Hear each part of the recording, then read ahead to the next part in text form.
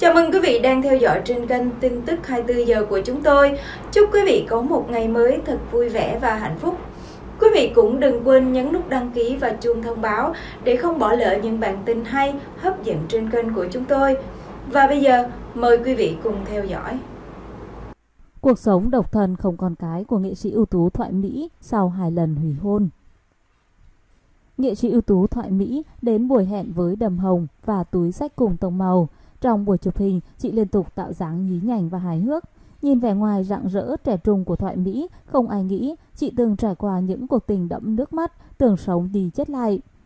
Giờ đây, ở tuổi U50, nữ nghệ sĩ cải lương cành cánh trong lòng, mong ước có con. Chị thú nhận hàng đêm khóc ướt gối vì ước mơ có con ẵm bồng ngày càng khó khăn khi tuổi ngày càng lớn. Tôi và Ngọc Huyền không có mâu thuẫn. Trên sân khấu cải lương, chị luôn đảm nhận các vai ác, dữ dằn và lằng.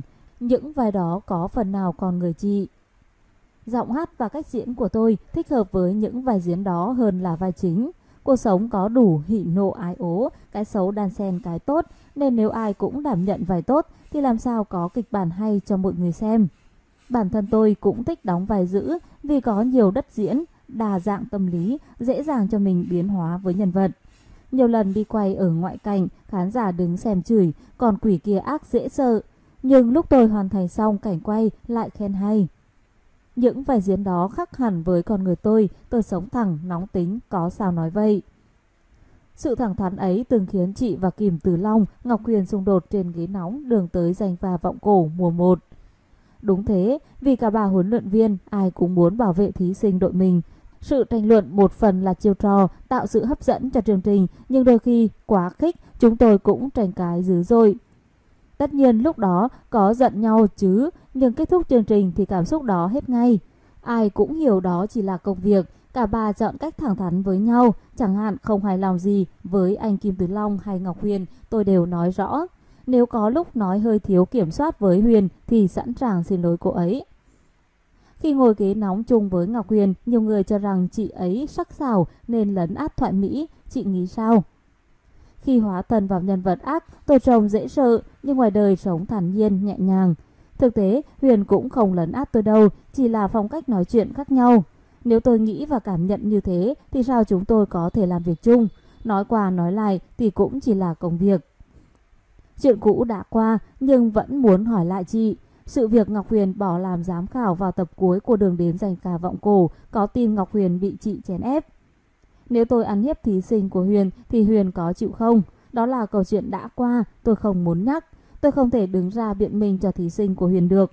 Tôi làm việc thế nào thì bản thân mình hiểu mình và cả ekip làm việc hiểu mình được rồi. Không lẽ thấy thí sinh đội Huyền nói thế thì tôi phải lên tiếng sao? Để làm gì? Nếu tôi chèn ép Huyền thì ban tổ chức có để tôi như vậy không? Họ sẽ bảo vệ Huyền chứ. Thực tế tôi và Huyền không có gì xung đột với nhau. Khi sự việc xảy ra, tôi còn nói với ban tổ chức phải bảo vệ Ngọc Huyền. Đây là cuộc thi hoàn toàn công tâm và công bằng. Hai lần tự tử sau ly hôn Ở tuổi U50, chị vẫn sống độc thân, không có con. Câu hồng nhàn bạc phận dường như ứng với cuộc đời chị. Trước khi tôi lấy chồng, đi xem thầy Tử Vi thì ông nói số tôi không nên làm đám cưới. Nếu cứ cưới thì sẽ bỏ nhau sớm. Lời cảnh báo đó tôi bỏ ngoài tai vì là con gái ai không muốn có một gia đình đàng hoàng và đám cưới của tôi khi ấy lớn lắm, vàng khắp Sài Gòn. Tôi làm mọi cách cố gắng vun đắp cho gia đình nhưng kết cục lại không tới đâu. Tôi tưởng việc mình đi làm việc chăm chỉ, mua sắm nhà xe đủ đầy thì chồng sẽ yêu thương. Ngược lại giữa chúng tôi lại hình thành khoảng cách và tới lúc không thể giải quyết được thì chia tay vài năm sau đó. Là người làm chủ kinh tế, kiếm tiền chủ lực trong gia đình, vì sao chị lại ra đi với hai bàn tay trắng hậu ly hôn? Lúc đến với nhau, hai đứa còn khó khăn và tự gây dựng nền nhà cửa. Khi ấy tôi đi làm nhiều, cắt xê cũng cào dễ sợ lắm. Một ngày có khi kiếm được một cây vàng. Không những thế, tôi còn có nguồn thu nhập từ quán nghệ sĩ, xốp quần áo. Tiền vô nhiều nhưng tôi hầu như không xài vì lịch đi hát chiếm hết thời gian rồi. Tôi chỉ đầu tư quần áo, trang sức, phục vụ cho công việc thôi. Khi ấy, chồng tôi lại thất bại trong công việc. Tôi cũng không tính toán tiền bạc với anh vì nghĩ luật bù trừ. Tôi dễ dãi về việc tiền bạc vô tình làm cho anh hư. Vì thế chúng tôi giận nhau nhiều phen dữ rồi. Tới lúc tôi xin về gia đình để xem anh có chịu thay đổi, xem anh sẽ lựa chọn thế nào giữa con đường ăn chơi và gia đình.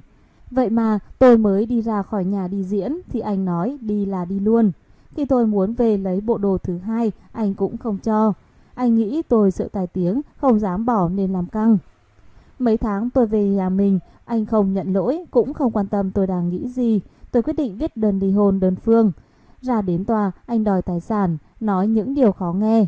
Tôi thấy thế càng thêm buồn vì nhận ra anh đâu phải sống vì mình mà sống vì những thứ khác. Tôi bảo anh muốn lấy gì cứ lấy, chỉ cần ký vào đơn thôi. Sau đó tôi thuê nhà, ra đi không mang theo bất cứ thứ gì. Tôi nghĩ mình còn làm việc được, sẽ gửi dựng lại nên không muốn tranh cãi về tài sản. Đám cưới linh đình bậc nhất Sài Gòn nhưng ly hôn trong cái đắng, chị đã khủng hoảng tinh thần như thế nào? Tôi khóc suốt, đi diễn mà hát không nổi, nước mắt làm lem hết son phấn. Nhiều khi chán quá, tôi đã tìm cách tự tử. Tôi uống thuốc ngủ thì được người giúp việc đưa đi cấp cứu, còn lần khác thì cứa tay chảy máu, bây giờ sẹo vẫn còn ở cổ tay. Tôi lên chùa khóc và xin thầy cạo đầu, thầy khuyên tôi về đọc kinh và nói, thầy cạo đầu cho con cũng được, nhưng về nhà nhìn mình trong gương tàn tạ, con sẽ càng suy sụp hơn. Do đó, thầy chỉ cắt ngắn mái tóc cho tôi, nhờ tịnh tâm đọc kinh, tôi suy nghĩ sáng suốt hơn và vượt qua cơn sang chấn tâm lý từ đó. Về kinh tế, chị đã gây dựng thế nào từ con số 0? Tôi lại lao vào công việc, may mắn mọi người lại thương, mời gọi tôi đi làm liên tục. Khi ấy, tôi mướn nhà ở 2 triệu đồng một tháng. Lịch diễn của tôi kín mít, có khi 1-2 tháng tôi mới về một lần. Khoảng 2 năm sau, tôi đã mua được chính căn nhà mình thuê. Ngôi nhà đó bây giờ tôi vẫn còn ở. Vài lần tôi định dọn đi để ra nhà mới, sống rộng hơn, nhưng cuối cùng tôi quyết định giữ lại ngôi nhà này như một kỷ niệm, đánh dấu sự gầy dựng lại của tôi.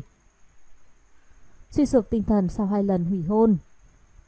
Quá khứ hôn nhân ám ảnh, đó có là lý do khiến chị ở tuổi U50 vẫn độc thân, không sinh con dù luôn có nhiều người theo đuổi. Số tôi đúng là lận đận tình duyên. Sau người chồng đầu tiên, tôi còn có hai lần tổ chức đám hỏi nữa nhưng đều gãy đổ. Đầu tiên là một Việt Kiều. Tôi gặp anh sau vài năm ly hôn. Chúng tôi tổ chức đám hỏi nhưng sau đó tìm hiểu không hợp nên đã dừng lại. Tới người thứ ba cúng đám hỏi thì có sự cố xảy ra, lần này là có người thứ ba xuất hiện. Tôi là người nổi tiếng, người bán vé số cũng biết thì đâu có thể làm gì không đẹp với người khác nên tôi quyết định dừng lại ngay. Quyết định nhanh chóng với hai người đàn ông sau có đồng nghĩa với việc chị ít đau khổ hơn lần chia tay đầu không. Không, khi đứng giải quyết thì nhanh chóng, vừa quay lưng đi là tôi suy sụp. Mỗi lần chia tay một mối tình, tôi tổn hào tinh thần, sức khỏe rất nhiều. Phải mất thời gian dài tôi mới dưỡng lại được nhan sắc. Khi đó, người tôi nhũn ra, không còn chút năng lượng nào. Nhiều lần tôi đứng trong vòi sen mưa lớn và là thật to, nhiều đến mức gục xuống sàn. Nỗi buồn của tôi khó giải tỏa vì tôi giữ trong lòng không chia sẻ với gia đình.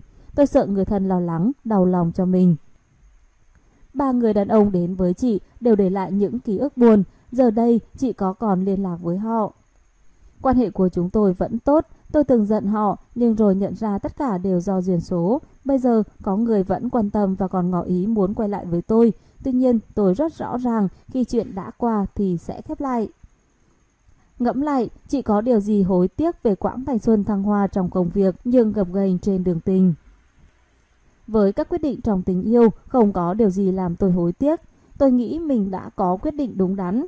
Điều hối tiếc nhất của tôi là không biết quý trọng thời gian, vì thế ở tuổi này thành ra quá trễ để có con. Nhiều đêm nằm, nghĩ đến con mà tôi buồn, khóc ướt đầm gối. Hai ba năm nay, tôi áp dụng nhiều phương pháp nhưng không thể thực hiện được ước mơ. Ở tuổi này có còn là điều quá khó. Vì sao chị không muốn nhờ người mang thai hộ? Tôi không nghĩ tới chuyện đó đâu, ta tôi xin con nuôi, còn không tự mình sinh con. Nghĩ tới chuyện đến đề nghị và thương lượng với người mang thai hộ thì tôi không cảm được đâu. Với người đàn ông gắn bó với chị 3 năm qua, chị còn có ý định kết hôn. Trong cuộc sống, có nhiều thứ xảy đến ngoài ý muốn, tôi không muốn nói trước điều gì. Riêng với người ấy, tôi nói họ phải cho mình thêm thời gian. Ở tuổi này, tôi không muốn lại rơi vào tình trạng kết rồi lại gãy. Bây giờ vui, hạnh phúc được ngày nào thì cứ vui ngày đó, kết hôn cứ để duyên số quyết định.